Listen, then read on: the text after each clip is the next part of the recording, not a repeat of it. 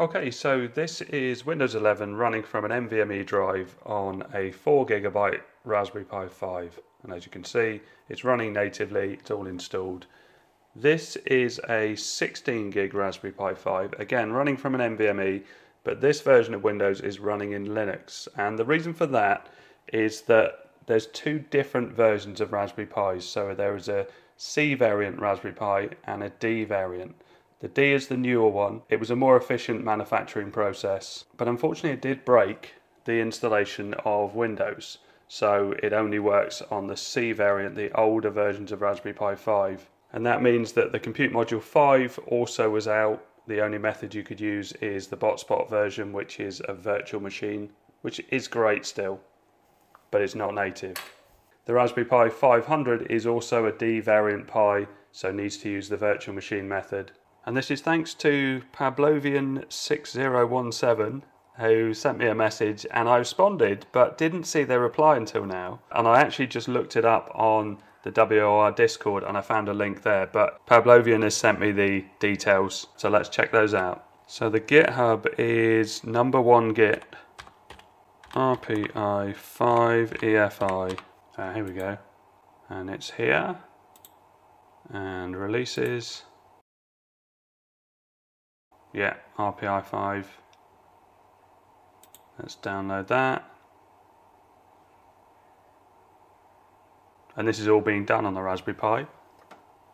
So, I would imagine I can probably just write that to an SD card and use it if I'm lucky. So have I got Raspberry Pi Imager installed on here? No, let's do a search for that then. There we go. And install that. And you can install Raspberry Pi Imager on Windows, Mac and Linux. It's often the latest version, the Windows one. So let's install that. And Windows is pretty usable on a Raspberry Pi 5. It doesn't have Wi-Fi, doesn't have GPU support, but if you use a USB to Ethernet adapter for Wi-Fi, or you can use an Android mobile phone or an iPhone, it's pretty good. So let's install this. And launch. So I've got a 2 gig micro SD card. I'm just putting that in my Pi now. Choose OS and we'll erase it first. Choose storage. There we go. And next. And yes. We just want a FAT32 formatted SD card and Imager does a really good job of doing that. So that's erased. So let's go to the folder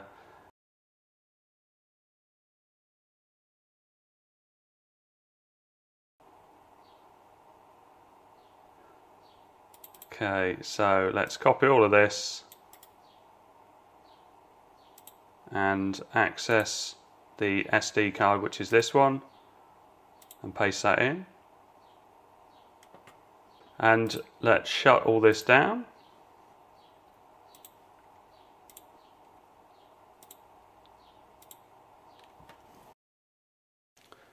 And now I've got to wait for the updates to finish.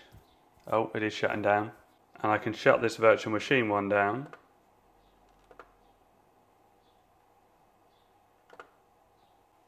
and basically swap all this over so I need this drive out.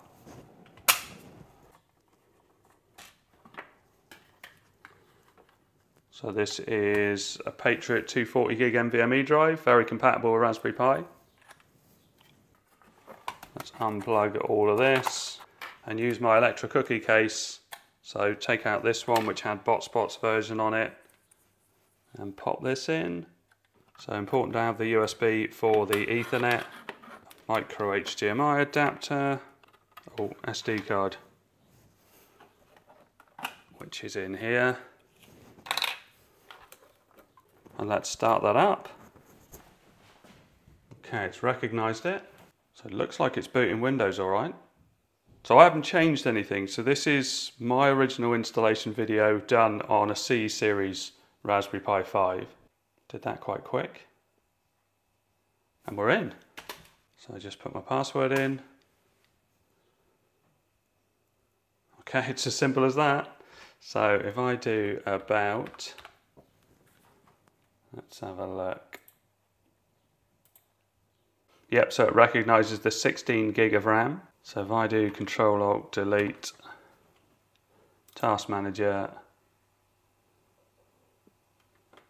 and if we go to performance here, you can see how much RAM it's using of the 16 gig. So if I was to open the browser, let's make that a little bit smaller. Oh, something went weird. That's okay. Uh, and then if we do, oh, says we're not connected to the internet. Although you do sometimes get that. Uh, it might just need a restart.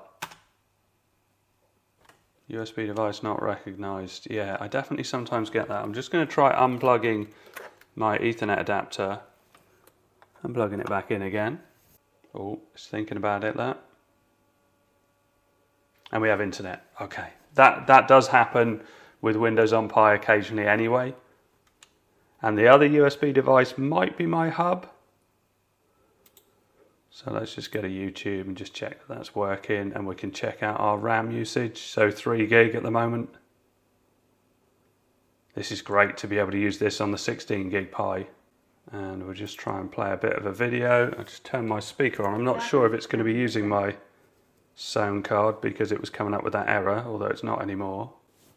So let's try plugging my sound card into the USB Ethernet adapter. Buying the right monitor is There we like go. finding your Now we have sound. match. Easy on the eyes? Check.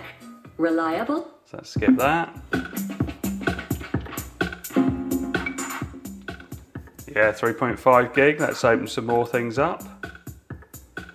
Uh, let's go with the store as well. I'm just going to mute the sound because I don't really need that. And let's see if I drag this out the way. Come on, let's go past 4 gig. Copilot. 3.7, 3.8, nearly there. Okay, so we can see it's working. What was that resolution playing at? I usually use I usually use 720 because it seems to cope all right with 720. I think 1080 was just a bit too far. 3.9 gig. Then we've got the store. It's still managing all right. Definitely could be a lot worse.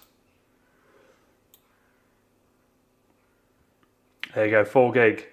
So we would have maxed out a 4 gig Pi and the CPU look is working at 100%. So really good to see. So what I'll do is put the link in. Uh, I may do another full tutorial. But it's interesting to see that one that was installed on the older C variant, it's because we're using a different UEFI boot. So that SD card that I was using, that's the boot partition. And that's what it's using to kind of tell Windows what the hardware is. And that's obviously worked in this instance. So it's changing the backgrounds.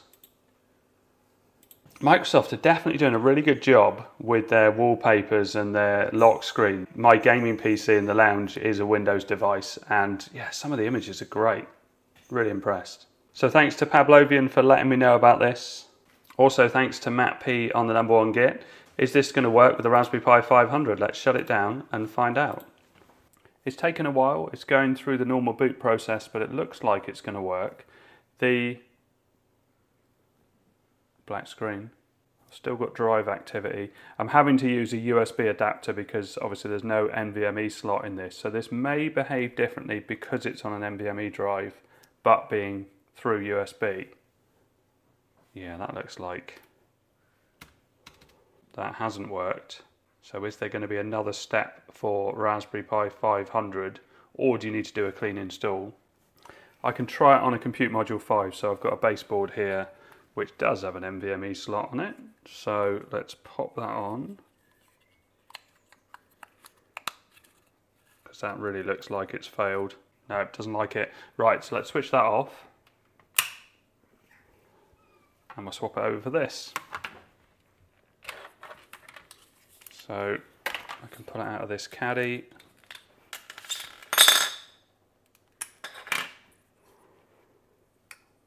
Pop it in here.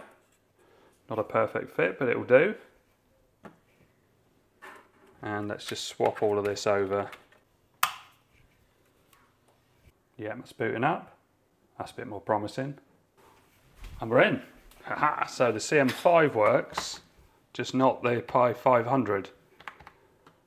And why have I not got keyboard yet?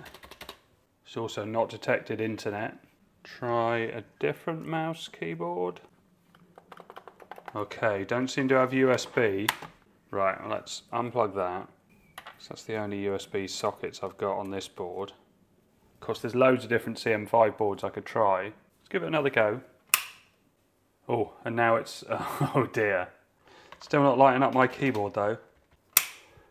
Okay, so nearly there on CM5.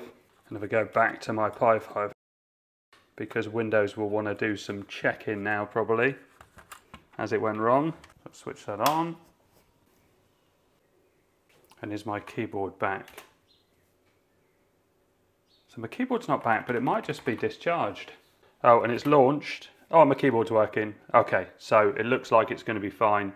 Uh, so I just need to unplug that and plug it in again to try and get the Ethernet back online. Yeah, and sign in. So for me, just specifically the Pi 5 at the moment, not the CM5, not the Pi 500, uh, you wouldn't bother putting this on a 2 gig Pi 5, it's just not going to run well at all.